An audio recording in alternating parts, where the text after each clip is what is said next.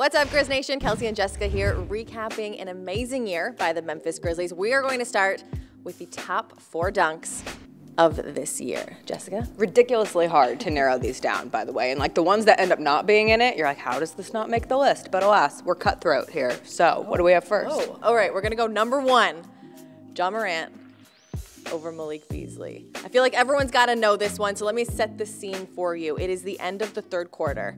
Ja waits up top, like almost at the the half court line, waits up top until seven seconds left on the shot clock, rejects the screener, finds the open lane. Beasley, who knows what the heck he was thinking, steps in to take the charge.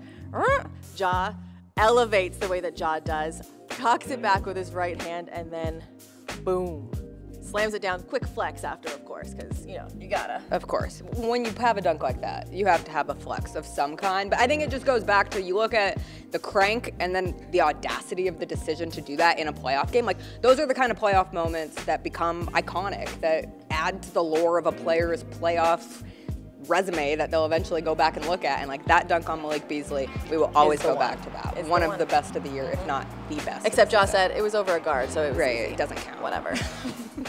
All right, so we could obviously fill a list with a lot of Ja Morant dunks, but we have to sprinkle some things in because Ja Morant's not the only one with hops. And if you talk about sneaky hops on this team, it's got to be De'Anthony Melton. He's been trying to tell people he has them, and he put them on full display March 28th, a first half against the Golden State Warriors where the Grizzlies were outscoring them 63 to 37, and there's one minute left in the half. And so what are you going to do?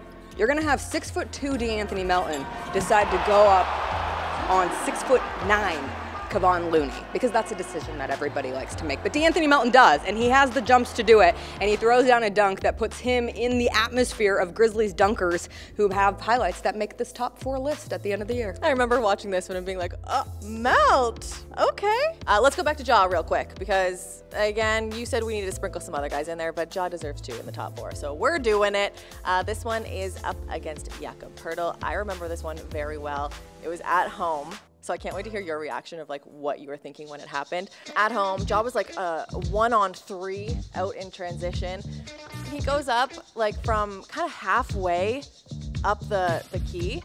Jakob jumps with him. Why? Again, Ja cocks it back, slams it on him. That was probably, if we're talking posters, that was probably one of the best posters of the whole year. Like, they printed that one out up in the studio here at GCM. So Sometimes Beautiful. business decisions are made and sometimes decisions are not made. And now you're Poeltl and you're on a poster. And that's what happens to you if you make that decision. But no, it was a fantastic night here at FedEx Forum and it was just one of those like buzziness factors. It's a random game against the Spurs. There wasn't a whole lot of excitement going into it. And then next thing you know, Ja Morant's going off for 52 points in the win. And that dunk kind of symbolizes what the entirety of the night Plus, was. Plus, the reaction of the bench. If you want to look at Dillon Brooks' reaction on the bench, Brandon Clarke jumps on Jaren's back on the bench. The team, you know, they loved it. You love a good. You sure do. And like we said, you could have had a ton of Ja Morant dunks. The fact that he had a windmill dunk and it's not going to make this list, too bad, so sad, because for our last one, we go to Santi Aldama. And how can you not have this dunk on the list? Because you go back to April Fool's chills. Day. Ah! April Fool's Day. And the Grizzlies bench squad comes out and punks the best team in the NBA at the time, the Phoenix Suns. And in the midst of it, you have Santi Aldama, who's playing in just his 30th NBA game of the season. He pump fakes past Jae Crowder. He blows past DeAndre Ayton and throws down a reverse jam. And Kelcey, you talk about bench reactions. If we were ranking bench bench reactions, this I think this one's number one from the this year because from everything, including Jaren Jackson Jr., like jumping into the arms of De'Anthony Melton and Steven Adams, it was just beautiful. Yeah. Who, who does a reverse dunk down the baseline? Santi Aldama. Santi Aldama, guys. That is our top four dunks of the year.